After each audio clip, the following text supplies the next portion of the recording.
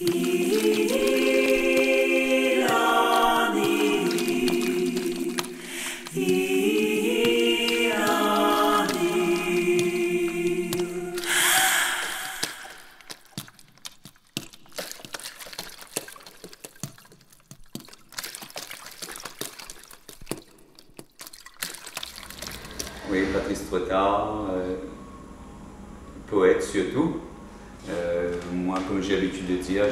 vivre sans poésie. Et en créole, je dis toujours dans mes cabarets, n'imagine plus mon vie sans Funker.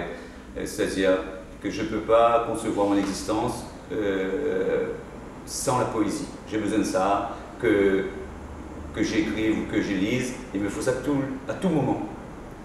Euh, et maintenant, ben, mes, mes influences, mes premières lectures, ce qui m'a donné le, le goût, plutôt révélé mon état de poète, je pense, ma sensibilité pour, la poésie. Euh, mon père m'a beaucoup marqué parce que euh, quand j'étais petit, à 8-9 ans, euh, à table, souvent il avait toujours un poème de Baudelaire, de Victor Hugo qui nous citait. Baudelaire était son préféré.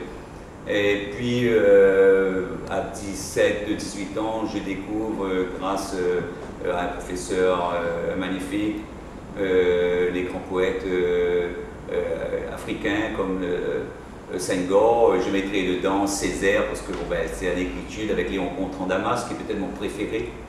Euh, et puis euh, au même moment, euh, il, y a, deux, poètes réunionnais, euh, Boris Gamaleya, euh, qui pour moi est le plus grand poète contemporain de la Réunion, de langue française je veux dire, euh, et Alain Lorraine. Je découvre euh, leur recueil de poésie, on est en 72, 73. Je découvre tout ça au même moment, mais je pense que peut-être j'ai découvert Boris avant de, de, de- découvrir euh, les, les, grands poètes euh, africains. Et puis tout, tout s'enchaîne, euh, la, la poésie, euh, peut-être pas écrire déjà, mais plutôt lire. Je lisais tout, l'anthologie de la poésie de Castello, euh, les, les, les, les- à travers avec, grâce à l'anthologie, euh, je pouvais avoir accès à beaucoup d'auteurs africains que je voulais lire, ou des auteurs américains.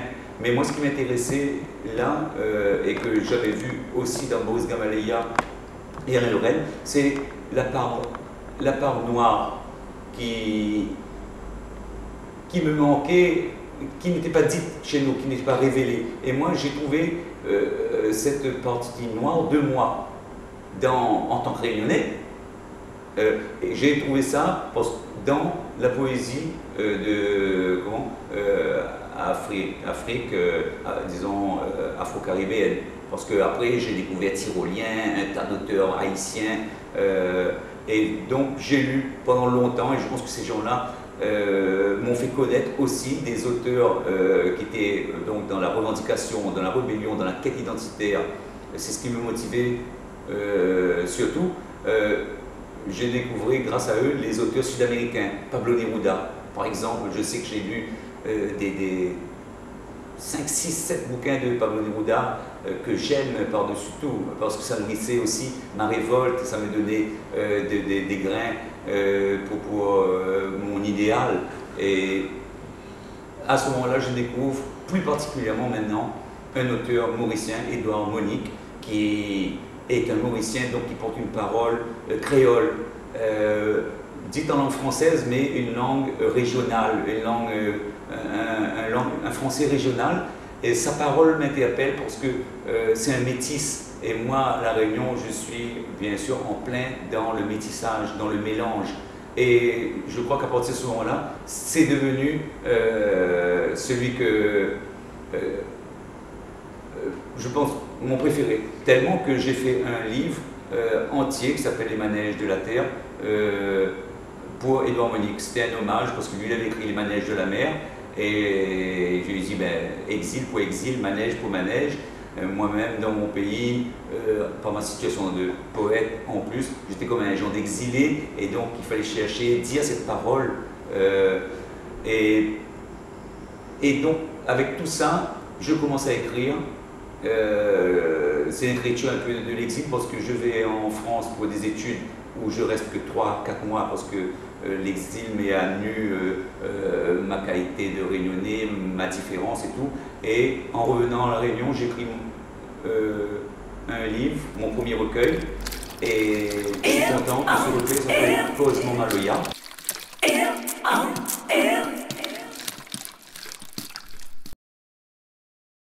Mon grand bonheur, c'est que tout le monde, tous mes amis, les gens de mon pays croient que je suis né au port parce que j'ai euh, un tel amour.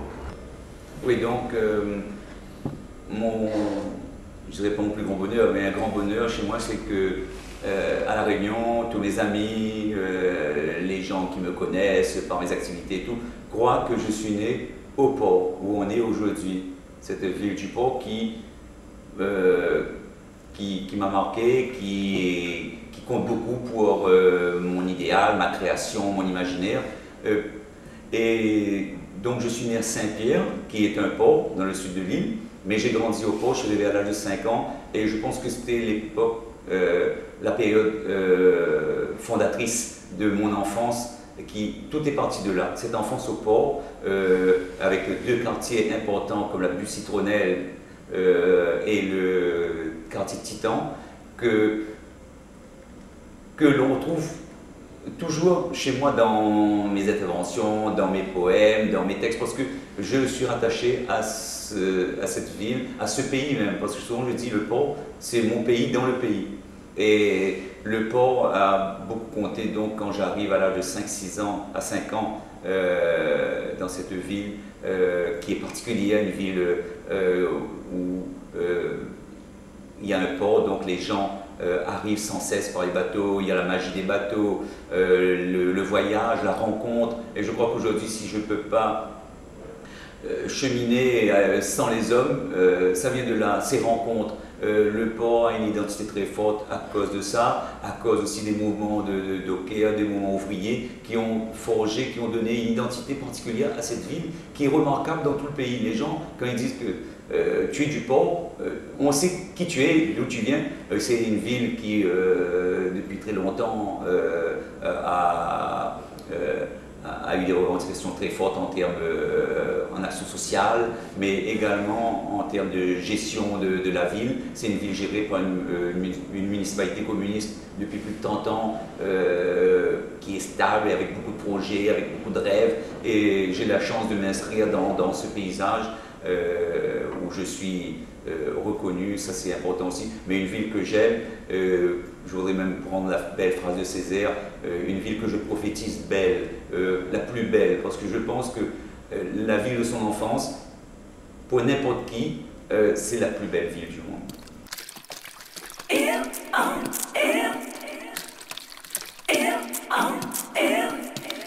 Oui, j'ai des grands souvenirs de l'enfance au port cette enfance.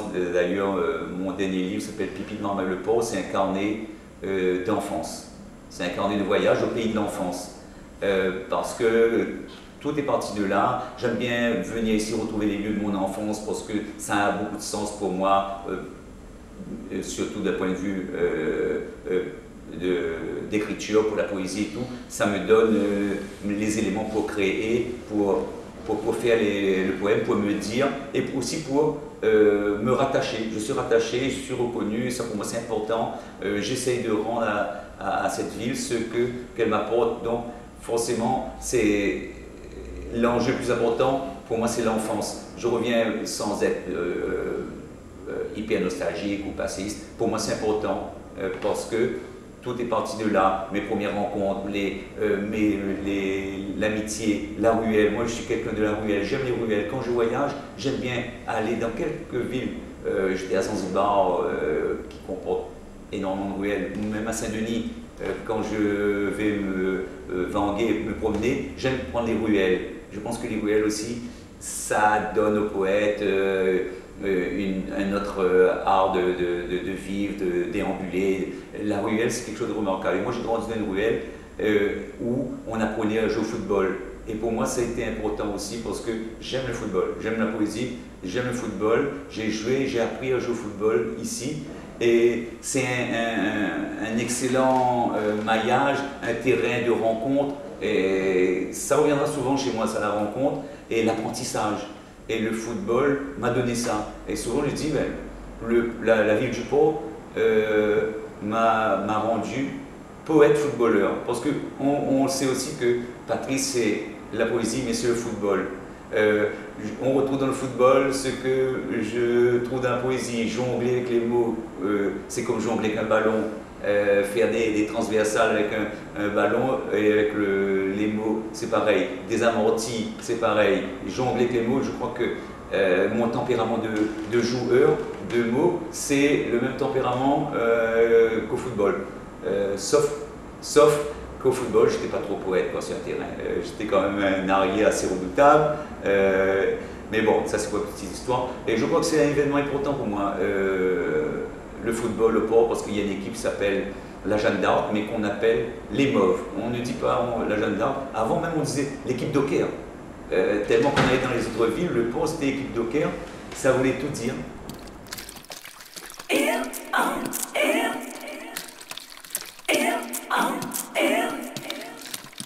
Mon premier recueil de poèmes s'appelle Cosmo Maloya et je suis très content depuis hier, comme beaucoup de mes camarades qui m'ont envoyé des mails, des SMS, parce que le Maloya, qui est une, euh, une danse et surtout des chants euh, qui, qui nous caractérisent, qui appartiennent à Réunion.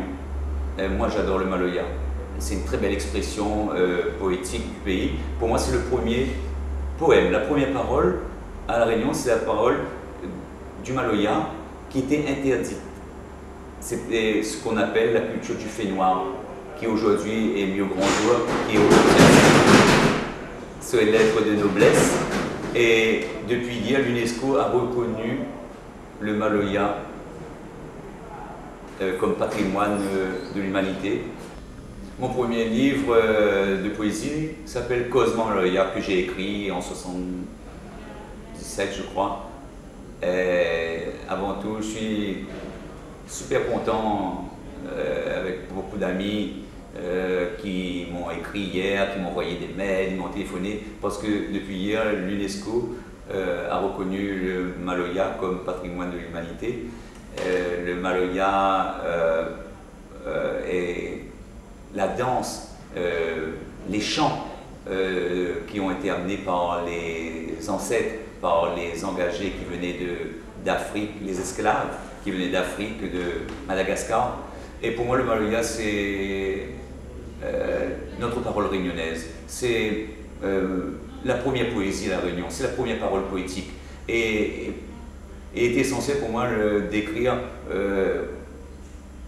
pour la première fois sur le rythme que j'ai en moi, c'est le rythme du Maloya. Son écriture, je disais que j'aimais Damas parce que quand je lis Damas, je devine euh, un rythme de jazz, un rythme de la chanson de son pays derrière.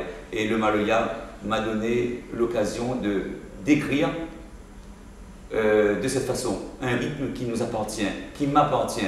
Et euh, jusqu'à aujourd'hui, bon ben, j'écris toujours avec ce rythme. J'écris le plus souvent possible avec ce rythme parce que c'est un rythme qui est, là, qui est dans mes veines.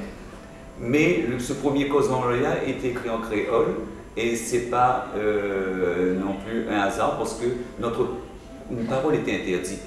On va pas s'étendre là-dessus, mais euh, le maloya était interdit, euh, était subversif. Et nous, on a pris le parti d'écrire, d'écrire cette parole de maloya, de l'écrire aussi surtout en créole, parce qu'on revendiquait une langue qui était aussi interdite. Les deux allaient de pair. Et cette parole euh, du Maloya est, belle parce qu'on peut la chanter. Moi, j'aime chanter. On aime faire des cabars. Les cabars, c'est des, lieux de réunion où il y a la poésie, la musique.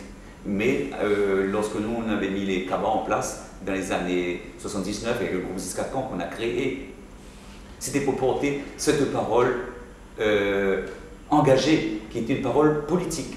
Nous, on faisait de la, politique avec cette poésie du Maloya. Euh, ensuite, euh, j'ai commencé à écrire en français parce que je suis français aussi. J'aime la langue française. Tous les livres que j'ai lus jusqu'à maintenant, la plupart euh, était, parce qu'il y avait très peu de littérature en créole, nous, on a un métier, un devoir aujourd'hui, c'est d'écrire, de donner de littérature à cette langue créole. Parce qu'il faut que le créole existe par le livre. Le livre est un objet important, économique, stratégique, politique. Donc, on avait l'ambition aussi d'écrire pour ça. Et euh, maintenant, j'écris indifféremment, en créole ou en français. Ça dépend euh, si il y a une intention, un projet. Euh, des fois, ça arrive selon l'inspiration. Mais j'écris dans les deux langues aujourd'hui. Mais les mes trois premiers recueils étaient écrits en créole essentiellement c'était un acte politique et très important.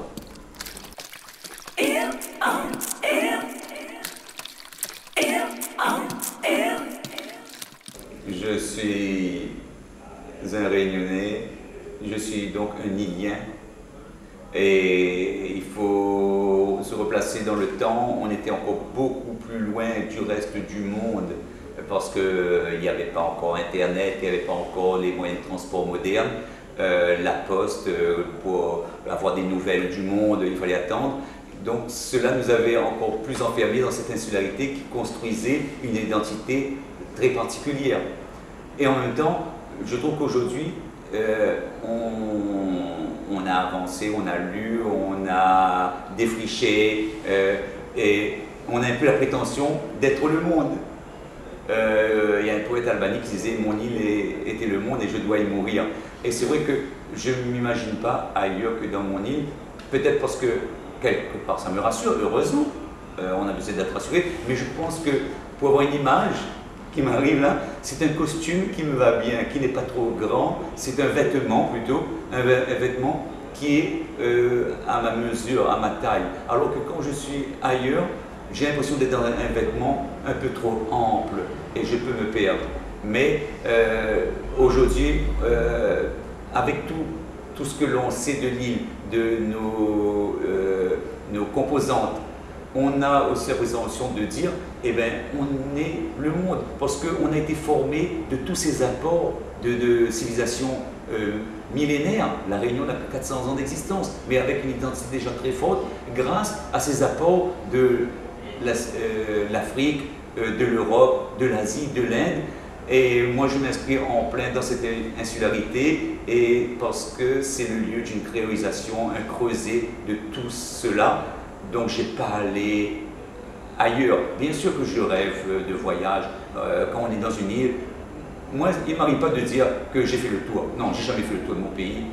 Ce n'est pas trop petit pour moi. Mais euh, la poésie, les rencontres nous donnent aussi d'aller voir ailleurs ce qui se passe, ou alors de vérifier, comme disait le poète, comme a dit le poète d'Harmonie, de vérifier les fables que l'on m'a toujours racontées, d'aller voir derrière la mer ce qui se passe, ce que l'on on, a lu ce que l'on nous a dit et d'aller vérifier sur place, c'est aussi quelque chose de très intéressant et d'important pour l'écriture parce que ben, nous, euh, on a cette... Euh, euh, je pense qu'on est, on a bien intégré tout cela, donc on est ouvert facilement pour, appréhender, pour intégrer, pour prendre tout ce qui, vient de l'extérieur, du dehors, comme on dit le pays, les pays de dehors, les pays dehors.